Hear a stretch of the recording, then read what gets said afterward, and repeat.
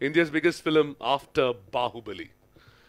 The man who gave us Bahubali, the man who actually rendered the barriers of language worthless. We are not anymore Bollywood, Tollywood, Sandalwood, or Mollywood. We are one Indian film industry because of this man.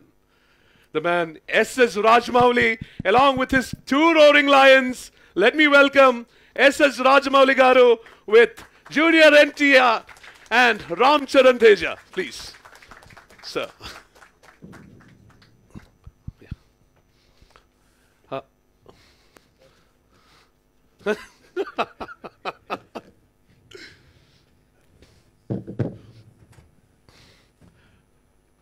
From all the interviews we have seen, we already know that you would do, be doing that.